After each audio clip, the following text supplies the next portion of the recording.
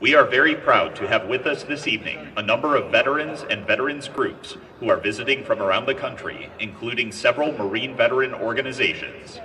In addition, we are privileged to welcome service members who sustained injuries on active duty, as well as their family members who have also sacrificed so much in support of our wounded warriors.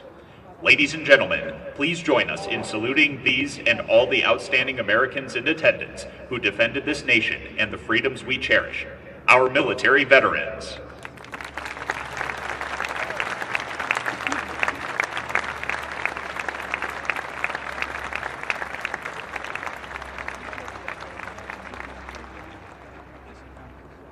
To all our guests, welcome and thank you for attending our ceremony.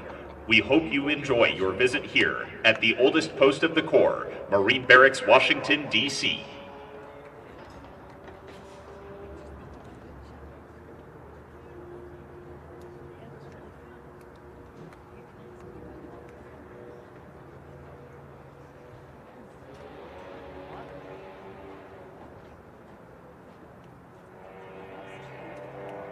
Ladies and gentlemen, please join in welcoming our host for this evening, the Commander of Marine Forces Reserve and Marine Forces South, Lieutenant General David G. Bellon, accompanied by his wife, Susan.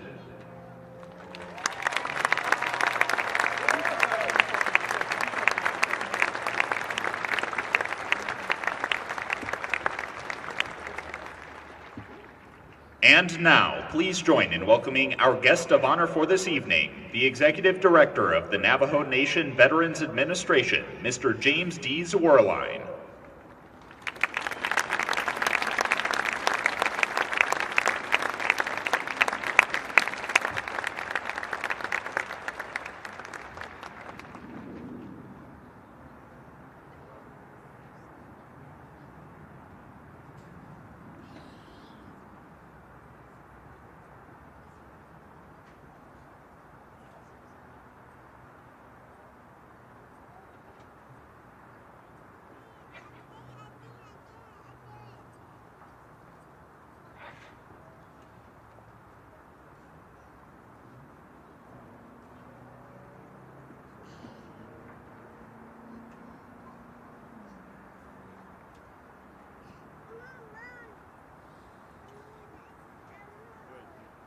Good evening, ladies and gentlemen, and welcome to the oldest post of the Corps, Marine Barracks, Washington, D.C., celebrating over six decades of performing evening parades here in our nation's capital.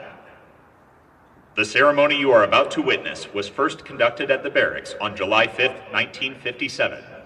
While the parade is standard for Marine units throughout the world, some elements have been modified to showcase the unique abilities of our marching and musical units. The massed formation of troops on one long line at close interval made possible the massing of firepower from muzzle-loaded muskets of the past. The adjutant forms the line of battle, and in those early days, that line consisted of two or three ranks, much like the parade formation you will see this evening. Tonight, we celebrate the pride, professionalism, and esprit de corps that are hallmarks of this barracks and the Marines who have distinguished these hallowed grounds for over two centuries. They represent all Marines around the globe who embody our Corps' values of honor, courage, and commitment.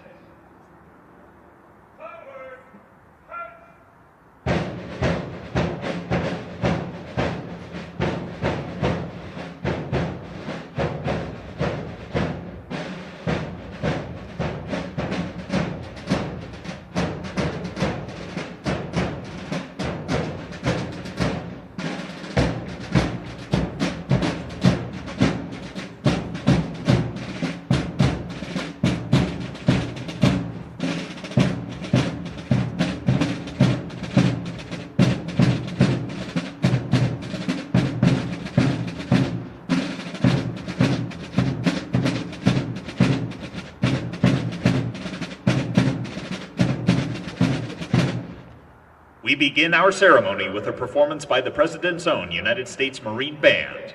The band traces its roots back to July 11, 1798, when an act of Congress authorized the Marine Corps to employ a drum major, a fife major, and 32 fifers and drummers. Today, the Marine Band has more than 150 members who proudly carry out its mission of providing music for the President of the United States and the Commandant of the Marine Corps. The band will open with a march composed by John Philip Sousa entitled Hands Across the Sea.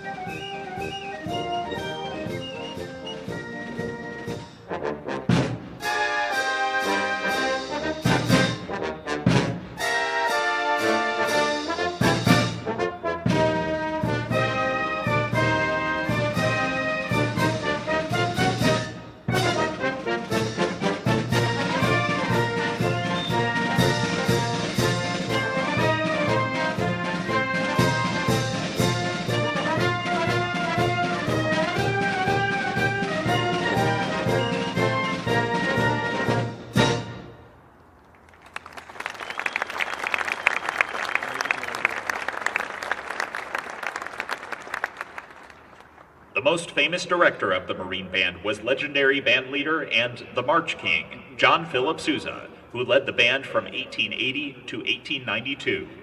Of all his marches, one so embodied our American spirit that in 1987 an act of Congress proclaimed it the National March of the United States. Ladies and gentlemen, celebrating over 223 years of serving as the guardian of American musical tradition, the Marine Band will perform Sousa's most famous march, The Stars and Stripes Forever.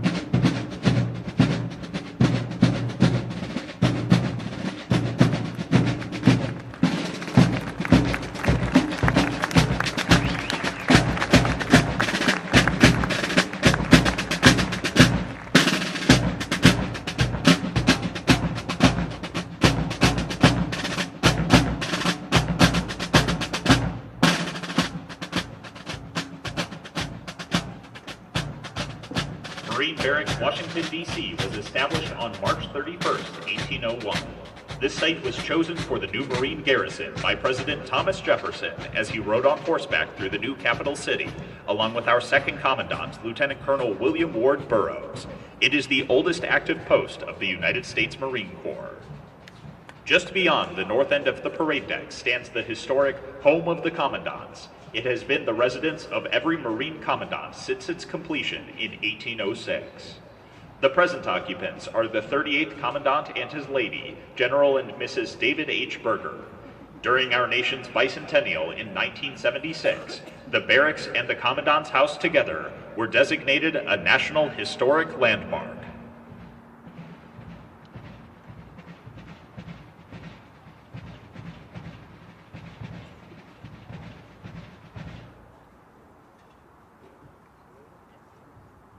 The flag flying over the barracks this evening is a replica of the national ensign, displaying 15 stars and 15 stripes that would have flown here in 1801.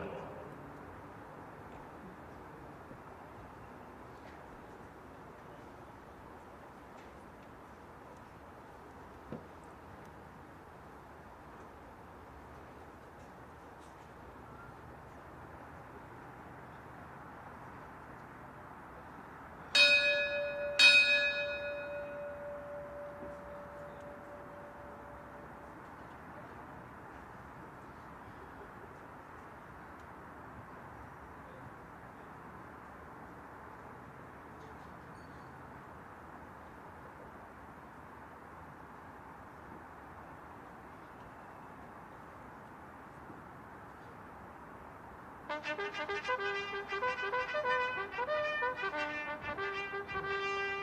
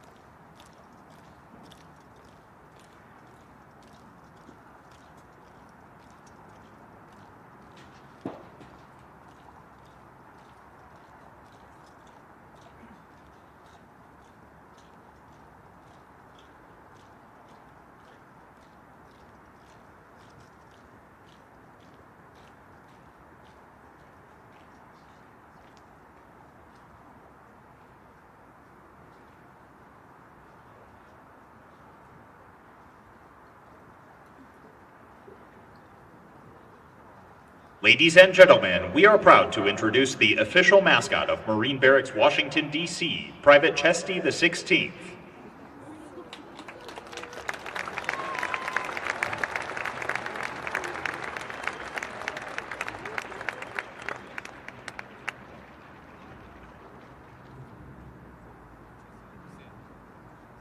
Pedigree English Bulldog, Private Chesty the 16th, enlisted in the Marine Corps on 14 March 2022 and completed recruit training on 25 March 2022. The first barracks mascot was named in honor of the most decorated Marine in history, Lieutenant General Louis B. Chesty Puller, a name that has been inherited by every mascot of the oldest post.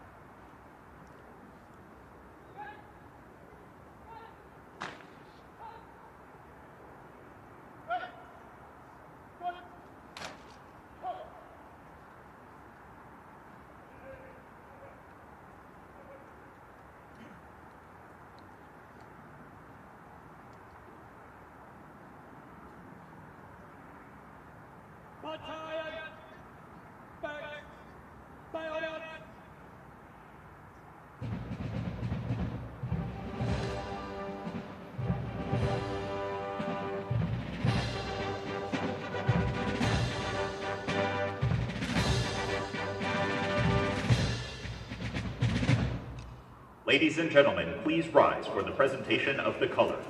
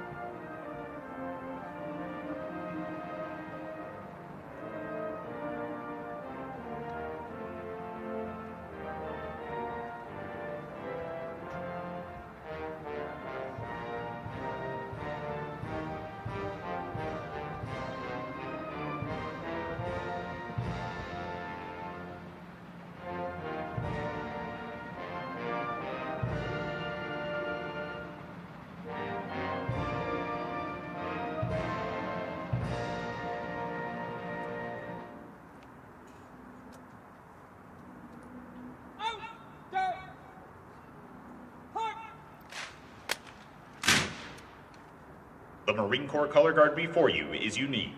Flanked by two Marine riflemen, our national flag is carried by the Color Sergeant of the Marine Corps, while the Marine to his left carries the official battle color of the Marine Corps.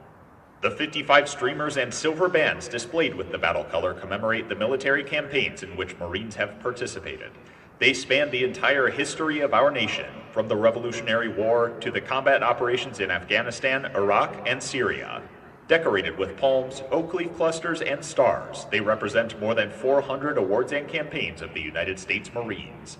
It is the privilege of Marine Barracks, Washington, D.C., to be entrusted with the custody of this battle color.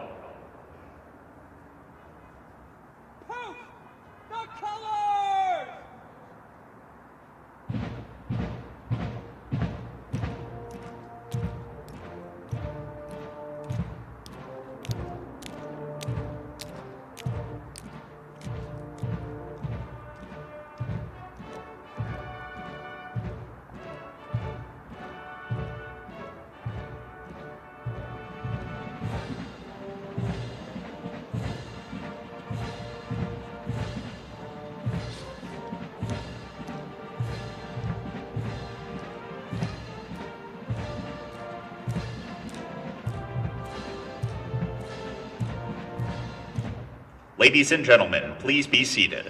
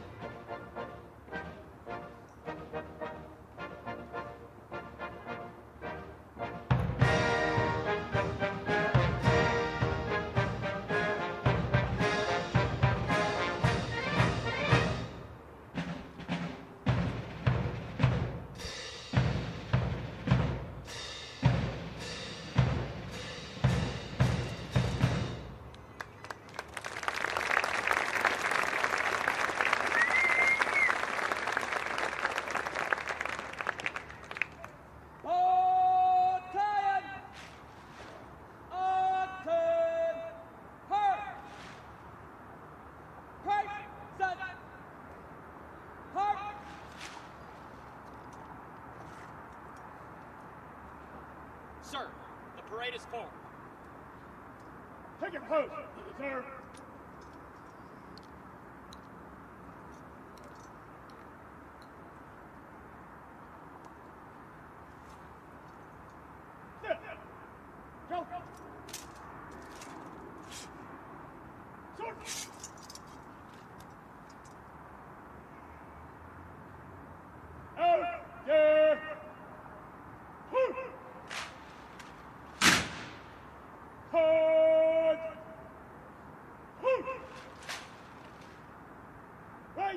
Right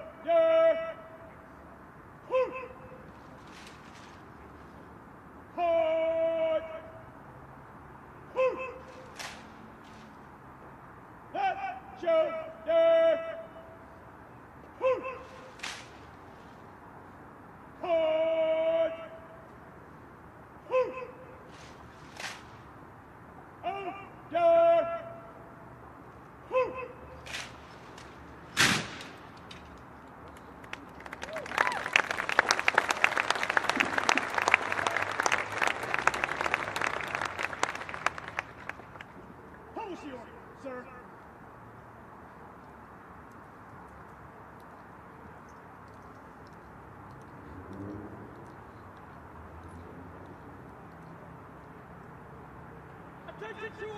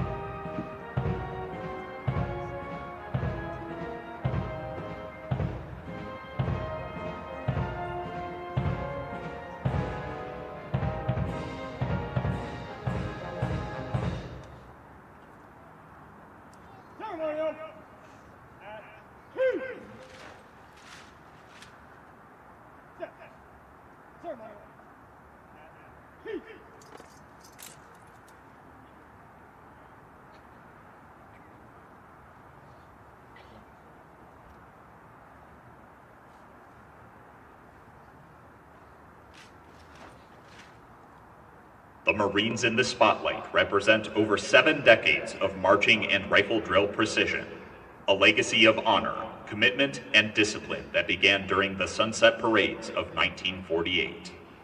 The M1 rifles they carry with fixed bayonets are standard for all our marching platoons and weigh in excess of 10 and one half pounds. The platoon executes its drill sequence without verbal cadence or commands. Ladies and gentlemen, Marine Barracks Washington, D.C. proudly presents the United States Marine Corps Silent Drill Platoon.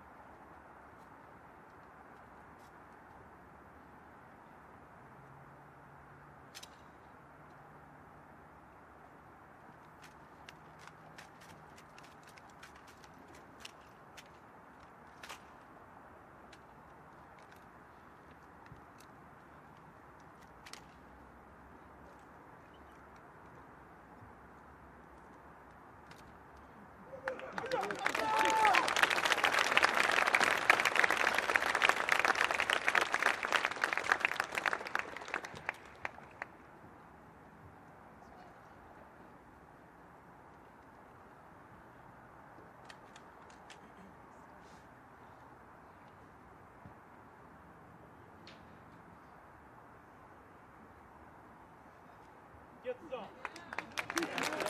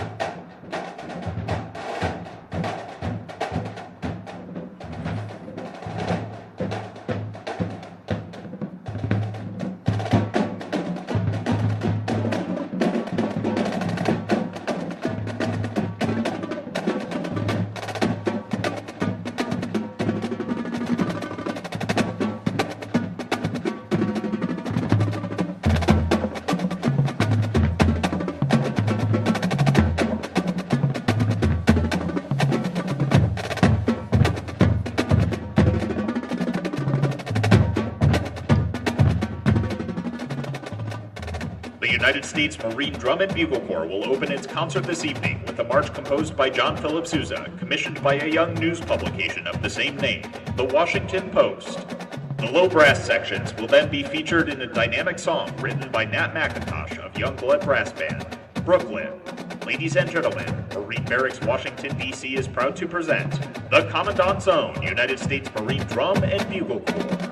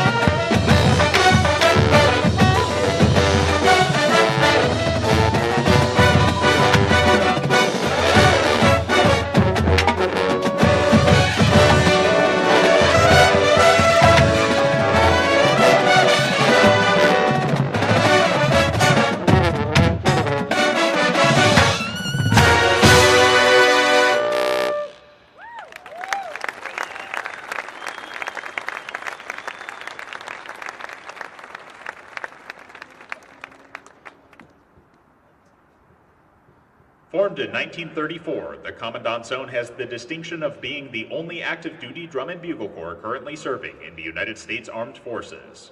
This evening's concert will close with a movement from Giuseppe Verdi's famous Requiem, Dies Irae. Tonight's performance will feature the saluting battery of the barracks, which will be fired by the body bearer section of the oldest post. Ladies and gentlemen, celebrating over 88 years of marching and musical excellence, here is once again the Commandant's Own.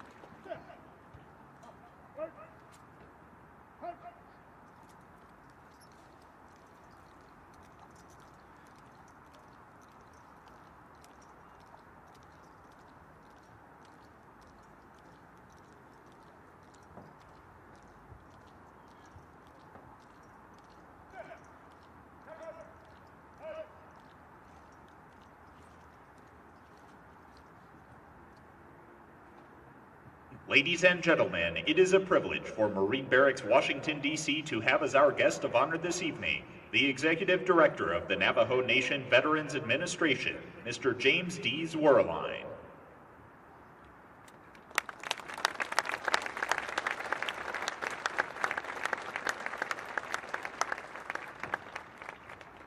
Joining our distinguished guest in the reviewing area are the Commander of Marine Forces Reserve and Marine Forces South, Lieutenant General David G. Bellon, and the Commanding Officer of Marine Barracks, Washington, D.C., Colonel Robert A. Sucher. Ladies and gentlemen, please rise for honors.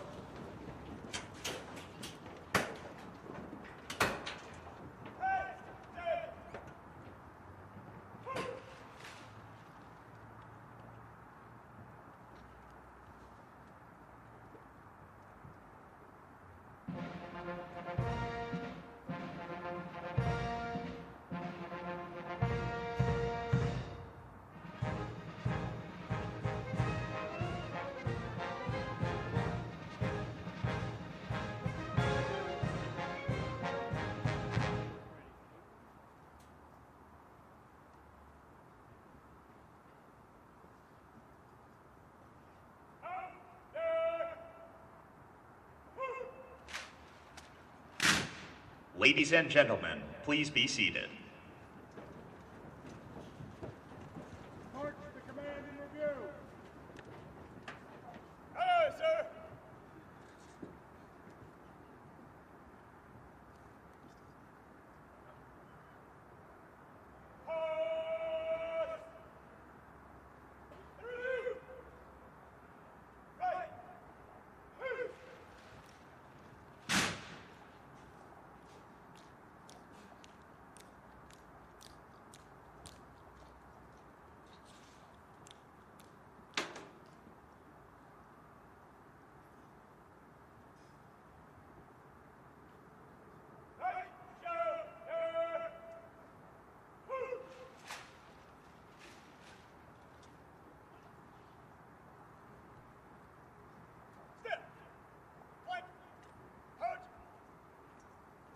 We prepare for pass in review, please direct your attention to the two marching companies assembled before you. These companies are comprised of infantry Marines who were hand selected to serve at Marine Barracks, Washington. In addition to parade support, these companies conduct joint service honor ceremonies at the Pentagon, the Tomb of the Unknown Soldier, and the White House. These Marines also have the solemn duty and distinct honor of performing dignified transfer ceremonies for fellow Marines who have made the ultimate sacrifice while serving our country, as well as laying our Marines and their families to rest in Arlington National Cemetery. When not performing ceremonial functions, the Marines of Companies A and B hone their infantry skills in preparation for future service in combat units of the Marine Corps' Fleet Marine Forces.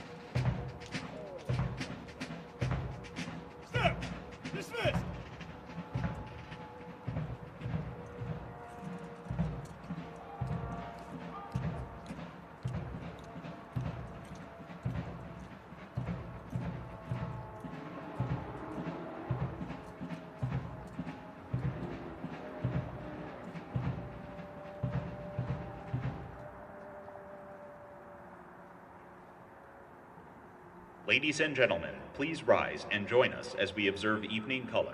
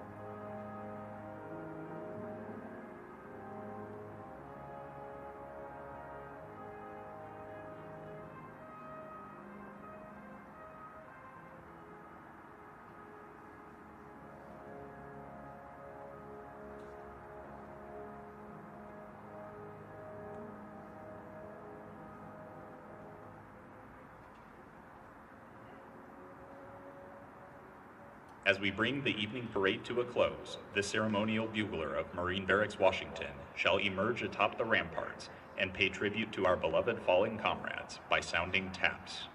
This historic bugle call originated in the U.S. during the mid 1800s as a way of signaling to troops the day's end and lights out. It would later become a way of saluting the honored dead throughout our American Civil War. Today, it is the final and perhaps most solemn element performed at all military funerals. Ladies and gentlemen, please remain standing as we now honor those gallant men and women who have given their lives in the service of our country.